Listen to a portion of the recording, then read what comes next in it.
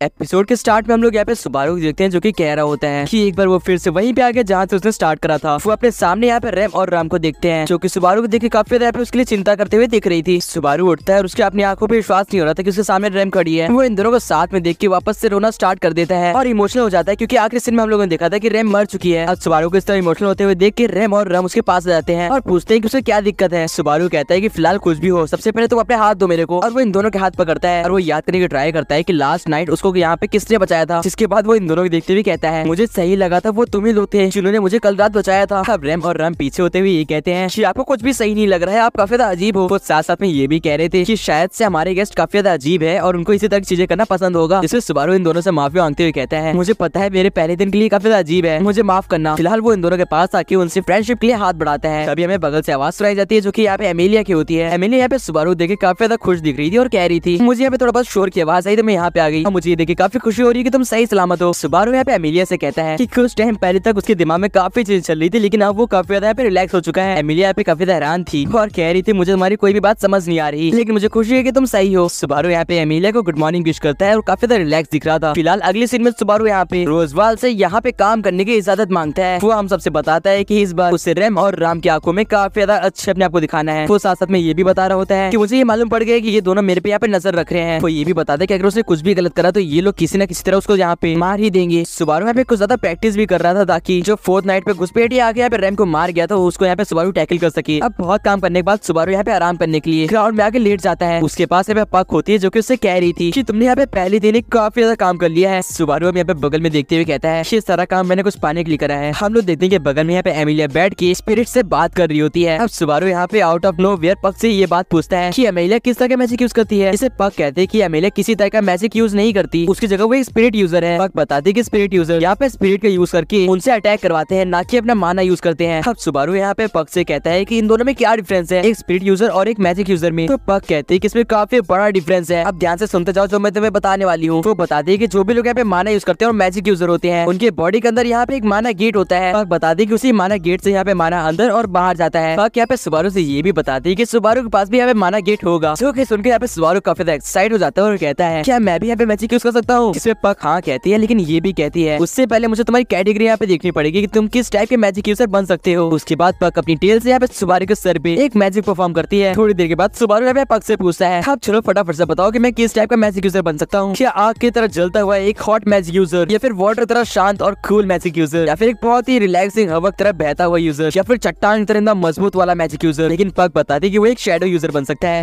Subaru कहता है, ये तो आउट ऑफ़ सिलेबस आ गया। फ़िलहाल वहाँ पे एमिलिया आती है और वो बोलती है की शेडो यूज़र काफ़ी ज़्यादा रेयर होते हैं। तो सुबारू ये सोचता है की शेडो काफ़ी ज़्यादा रेयर होते हैं तो इट मीन वो काफ़ी ज़्यादा यहाँ पे पावरफुल भी होते होंगे। जिसपे यहाँ पे एमिलिया पानी फेरते हुए कहती है मैजिक यूज़र्स कुछ चीज़ें कर सकते हैं, जैसे की लोगों को ब्लाइंड करना, उनकी आवाज़ बंद करना, उनको स्लो करना एंड एक्सेट्रा चारों सवारों सोच रहा था कि वो किसी गेम का डीप वर्क वाला बंदा बन गया है, जो की सिर्फ़ सिर्फ़ डिसएडवांटेज दे सकता है और कुछ नहीं कर सकता। और कहती है की इसमें सबसे ज़्यादा कॉमन चीज़ जो है, वो है स्टेमैक जिससे तुम सबको ब्लाइंड कर सकते हो और उनकी आवाज़ें भी बंद कर सकते हो। कहती है की वो इसे करके दिखा सकती है इसमें सुबारो काफ़ी ज़्यादा एक्साइट होकर कहता है की क्यों नहीं? और पक एक बार में यहाँ पे अपना मान यूज़ करते हुए कहती है, शमैक, हम देखते हैं चारों तरफ़ यहाँ पे डार्क एनर्जी फैल जाती है और सुबारो को उस डार्क एनर्जी के अंदर फिर से फील होता है कि उसके पास वो विच वापस आ गई है। उसका दम घुटी रहा होता है, तभी वो रियलिटी में जाता है। उसको इतना डरावना एक्सपीरियंस हुआ था कि उसको यहाँ पे पसीने आ रहे थे। एमिले के पूछे भी वो ठीक तो है। सुबारू कहते हैं कि वो यहाँ पे बिल्कुल फैंटास्टिक है। बस वो हैरान हो गया यहाँ पे पक का मैजिक देख के। सुबारू पूछता है कि ये मैजिक वो भी कर सकता है? जिसे पक कहते हैं कि तुम्हें ट्रेनिंग की ज़रूरत होगी, लेकिन मैं तुम्हें सिखा सकती हूँ। अब अगली सीन में यहाँ पे पग एमिलिया से कह रही होती है कि वो सुबारू की मदद करेगी, लेकिन कुछ भी गलत होने पे एमिलिया बैकअप का काम करेगी, दूर खड़ी होकर अब हम देखते हैं कि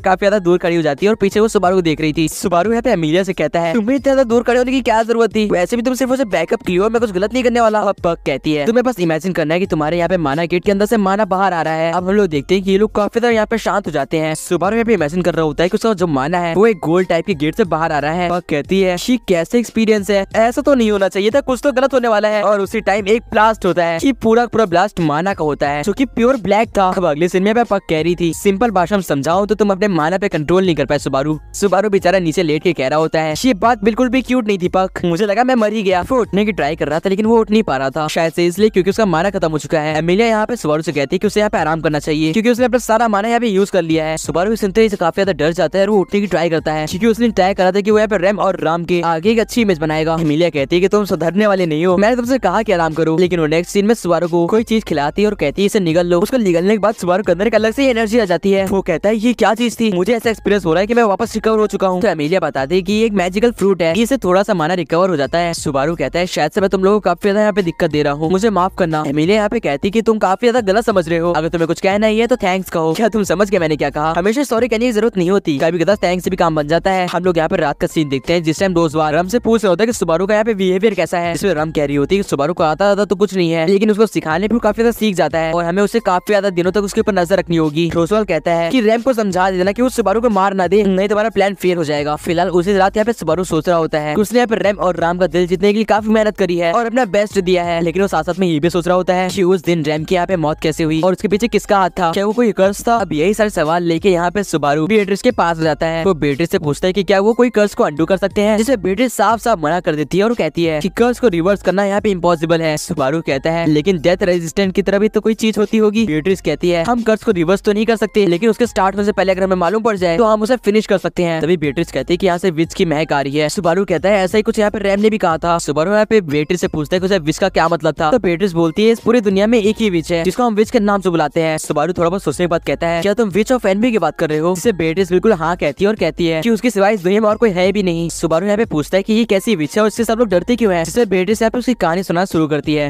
वो एक बहुत ही ज़्यादा लालची विच थी। उसने छह विचेस का यहाँ पे ग्रुप बनाया और उसका नाम रखा डेडली सेंस वो कहती थी उसे यहाँ पे प्यार की तड़प है। वो बताती है। माना जाता है की वो एक हाफ़ एल्फ थी और उसके बाल सिल्वर कलर के थे और उसका नाम सातेला था। जैसे सुबारू यहाँ पे सातेला का नाम सुनता है, उसके रोंगटे खड़े हो जाते हैं। उसे याद आता है की पहली बार जब एमिलिया उससे मिली थी तो उसने भी अपना नाम सातेला ही बताया था। लेकिन वो अपने आप को कंट्रोल करते हुए कहता है, मैं समझ गया कि एमिलिया के ऊपर यहाँ पे क्या बीतती होगी। वो याद करता है की कैसे एमिलिया शॉक हो गई थी, क्यूँकी सुबारू उसके साथ बिल्कुल नॉर्मल बिहेव कर रहा था। सुबारू हँसते हुए कहता है की मुझे समझ में आ गया कि आखिर वो दूसरे से घुलती मिलती क्यों नहीं है। बेटी से सुबारू से कह रही होती है कि वो किसकी बातें कर रहा है और क्या उसका क्वेश्चन यहाँ पे खत्म हो गया। सुबारू नेक्स्ट डे एक ओपन इंडिया में खड़े होकर कहता है, नया दिन शुरू करते हैं एक्सरसाइज के साथ. और उसके बाद वो कहता है कि विक्ट्री उसके बगल में ही यहाँ पे एमिलिया बैठी थी, जो कि यहाँ पे स्पिरिट से बात कर रही होती है। एमिलिया के पूछने पे तुम आज भी काफ़ी ज़्यादा एनर्जेटिक लग रहे हो सुबारू सुबारू उसके पास आता और कहता है, क्योंकि अभी तक उन दोनों बहनों ने मुझे डांट नहीं लगाई है, इसलिए मैं खुश दिख रहा हूँ। वो यहाँ पे एमिलिया से कहता है, अगर मैं काफ़ी ज़्यादा उदास हो जाऊँ तो मुझे अपने लैब्स पे यहाँ पे लेटा के मेरे को रिलैक्स कर देना। ठीक है ना? फ़िलहाल वो काफ़ी ज़्यादा हँसते के साथ ही यहाँ पे पक से बोलता है, तुम जब भी ऐसा करती हो, मुझे लगता है की तुम एक बिल्ली हो। और क्या पे सुबारू से कहती है, क्या तुम ह्यूमन पे थकते नहीं हो? माना यूज़ करने के बाद सेम हमारा भी केस होता है हम स्पिरिट्स भी माना यूज़ करने के बाद थक जाते हैं। तो सुबारू यहाँ पे काफ़ी ज़्यादा ओवर रिएक्ट करते हुए कहता है, क्या कल तुम और एमिलिया यहाँ पे जाग रहे थे रात भर? वो यहाँ पे कहता है, कहीं तुम दोनों ये तो नहीं डिस्कस कर रहे थे कि तुम दोनों किसे प्यार करते हो? एमिलिया यहाँ पे सिंपल जवाब देती है, ये तो बहुत ही सिंपल है। पक मुझसे प्यार करती है और मैं पक से, कोई डाउट नहीं है। ये बात को सुन के सुबारू कहता है, मेरी तो जगह ही नहीं है इनके बीच में। पक कह रही होती है की तुम्हारी कोई भी जगह नहीं है यहाँ पे। कोई भी रास्ता नहीं है की तुम जीत जाओ। लेकिन इनके बीच में यहाँ पे एमिलिया इन दोनों का कान पकड़ के कहती है, अगर तुम ऐसा करोगे तो मैं तुमसे गुस्सा हो जाऊँगी। फ़िलहाल सुबारू यहाँ पे ओवर करते हुए कहता है, उन दोनों बहनों से डांट खा के उनका काम करने का टाइम हो गया है और वो वहाँ से भागते हुए चला जाता है। इसके जाते ही यहाँ पे एमिलिया कह रही थी मुझे सुबारू का यहाँ पे बिहेवियर नॉर्मल नहीं लग रहा। कोई तो बात है जो कि वो हमसे छुपा रहा है। हम लोग देखते हैं काम करने के दौरान सुबारू यहाँ पे एक बास को तोड़ देता है, लेकिन अगले सीन में वो यहाँ पे झाड़ू लेके उसे साफ़ करते हुए कहता है रैम तुम्हें यहाँ पे फ़िक्र करने की कोई ज़रूरत नहीं है। मैं सब संभाल लूँगा। बैक सीन में यहाँ पे पग बता रही होती है की सुबारू यहाँ पे मेंटली और फिजिकली बहुत ज़्यादा अनस्टेबल है और उसे बेचारे को खुद ही नहीं पता उसे क्या करना है। की सारी बातें सुन के यहाँ पे एमिलिया भी काफ़ी ज़्यादा हैरान लग रही थी और लग रहा था की वो भी काफ़ी ज़्यादा चिंता में है। रैम यहाँ पे सुबारू से कहती है की तुमने पहले वास तोड़ा और उसके बाद उसे सही कर दिया। मुझे नहीं लगता की मुझे इसके लिए तुम्हें अप्रिशिएट करना चाहिए। वो वहाँ से जाते हुए कहती है की शायद मुझे नया वास ला यहाँ लगा देना चाहिए। लेकिन सुबारू से रोकता है और कहता है की वो काम वो खुद कर लेगा। और अगले सीन में वो वास लाता है, उसमें फ्लावर्स डालता है और कहता है, देखा, मैंने सब कुछ अपने आप ही हैंडल कर दिया। लेकिन रैम को शौक हो जाता है वो कहती है, तुम्हें ये मालूम कैसे पड़ा की वास कहाँ रखा है? बताना चाहोगे? इसलिए सुबारू कहता है की ये तुम्हारी बड़ी बहन ने बताया तो मुझे। रैम ने बताया की उसने वास कहाँ रखा है। फ़िलहाल वो कहता है की उसकी बड़ी बहन की मदद करने जा रहा है और वहाँ से फुर हो जाता है। वो बेचारा यहाँ पे मदद करते हुए अंदर ही अंदर यहाँ पे सोच रहा होता है, मैं बहुत बीमार फील कर रहा हूँ। बहुत ही ज़्यादा बीमार। अगले सीन में हम लोग देख रहे थे की वो यहाँ पे सिलाई का काम कर रहा था, लेकिन अंदर ही अंदर वो अभी भी यही सोच रहा होता है, ऐसे चलता रहा तो मैं बीमारी चलते मर ही जाऊँगा। मैं पूरी तरह से थक चुका हूँ। इसकी ये हालत यहाँ पे एमिलिया देख रही थी और शायद उसे पता था की सुबारू यहाँ पे जानबूझ के कर रहा है। सुबारू अकेले में आके सोच रहा था, मैं ये क्या कर रहा हूँ? अगर मैं ऐसे स्माइल करूँगा और ऐसे रिएक्शन दूँगा तो उनको मेरे पे कभी ट्रस्ट नहीं होगा। मुझे और भी ज़्यादा मेहनत करनी पड़ेगी। सुबारू यहाँ पे रैम से कुछ बता रहा होता है, लेकिन अंदर ही अंदर वो अभी भी एग्जॉस्ट था पूरी तरह से। एंड एंड में वही होता है जो होना था। वो अपने आप को संभाल नहीं पाता तो उसको उल्टी हो जाती है। वो शीशे में देखते हुए कहता है, देखो बेवकूफ़, तूने क्या गलती कर दी है। कितना गंदा चेहरा दिख रहा है तेरा। ऐसे चलता रहा तो तुम पे कभी भरोसा नहीं करेंगे। वो जैसे बाहर निकलता है, वही भी अमीलिया खड़ी होती है। अमीलिया जैसे सुबारू देखती हुई कहती है कि क्या तुम ठीक फील कर रहे हो और क्या तुम ठीक हो? सुबारू अमीलिया को देखते ही फिर से वो रिएक्ट करने लग जाता है और कहता है की वो बिल्कुल ठीक है। लेकिन अमीलिया यहाँ पे कमरे के अंदर जाके कहती है, अब यहाँ ज़मीन पे आके चुपचाप से बैठ जाओ। सुबारू वहाँ पे बैठ जाता है और उसके बगल में अमीलिया भी बैठ जाती है। सुबारू कहता है की तुमने मुझे यहाँ पे क्यों बैठाया है? लेकिन अगले सीन में सुबारू अमीलिया के लैब पे होता है। अमीलिया कहती है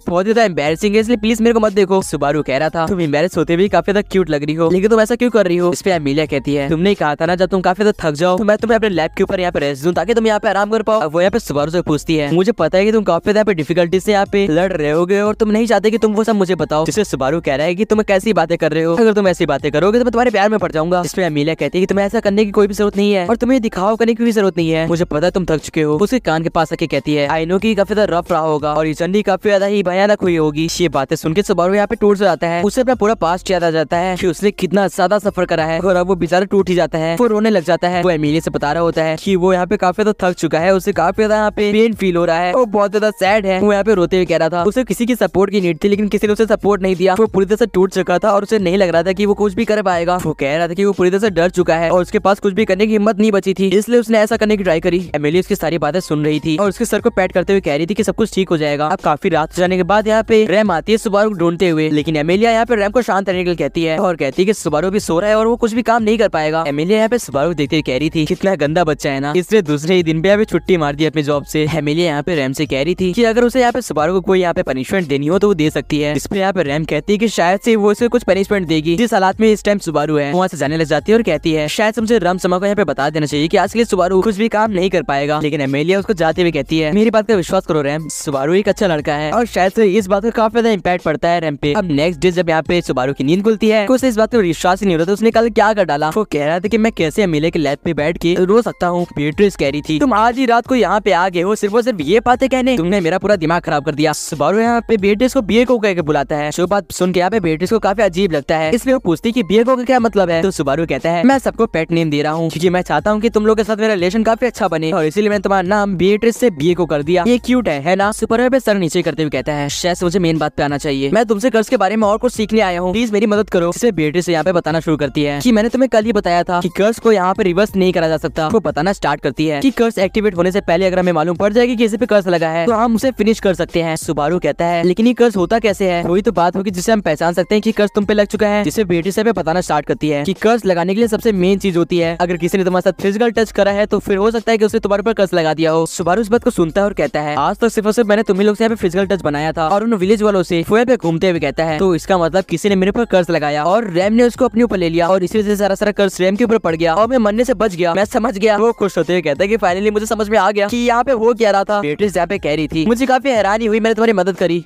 लेकिन तुमने मुझे कुछ कहा नहीं। तो सुबह पे हँसते हुए कहता है, अरे मैं तो भूल ही गया था। वो उसे यहाँ पे आसमान में उठाता और कहता है थैंक यू बेटा, बहुत ही ज़्यादा थैंक्स बेट्रिस यहाँ पे सुबारू कहती है कि निकल जाए वहाँ से। फ़िलहाल अगले दिन सुबारू यहाँ पे कहता है, आज से मैं एक नया सुबारू हूँ और एक नया इंसान हूँ। मैं फिर से कोई दिखावा नहीं करने वाला। इसके बगल में प्रेम और राम होते हैं जो की कह रहे थे, सुनने में आया कल तुम किसी के पैर पे सो रहे थे। लेकिन उसी टाइम यहाँ पे एमिलिया जाती है और सुबारू को गुड मॉर्निंग विश करती है। वो उसके पास में आके कहती है, ये थोड़ा सा इम्बेसिंग तो है, लेकिन मैं तुमसे एक बात पूछना चाहती हूँ। तो भी कैसा फील कर रहे हो? जिससे सुबारू कहता है की वो अभी काफ़ी अच्छा फील कर रहा है। एंड उस बात की वो एमिलिया को थैंक्स कहता है तो किस सुन के पे एमिलिया उसे वेलकम कहती है। और उसे इस बात की खुशी थी कि इस बार सुबारू ने सॉरी नहीं बोला। बाकी यहाँ पे रेम और राम अभी भी वही कह रहे थे। तो इसका मतलब तुम ही थे ना, सुबारू जो यहाँ पे एमिलिया समय के पैरों पे सो रहे थे कल, जो की सुन के सुबारू कहता है की हाँ बस भी करो। वैसे की हम लोग को शॉपिंग क्लास बाहर जाना है? जिसपे ये दोनों कहते हैं की आज तो नहीं, लेकिन कल जाना है। सुबारू कहता है की हम आज जा सकते हैं, जिसपे राम कहती है की तुम जाओ रैम वैसे भी तुम्हें एक बंदा मिल जाएगा सामान को इधर उधर करने के लिए। राम कहती है की वैसे मैं भी तुम्हारे साथ चलने वाली हूँ। मुझे भी विदेश में कुछ काम है। इसका मतलब तुम्हारे दोनों हाथ में दो सुंदर फूल है सुबारू सुबारू ये बात सुन के काफ़ी ज़्यादा अजीब फील कर रहा था और कह रहा था कहीं ये फुल पॉइजनस ना हो। फ़िलहाल गाइस इसी साथ ये एपिसोड एंड हो जाता है। आप लोग का एपिसोड कैसा लगा कमेंट बताना। एंड सब्सक्राइब कर दो इसका अगला एपिसोड देखने के लिए। बाकी मैं मिलता हूँ आपसे नेक्स्ट वॉचिंग वीडियो में। Till then good bye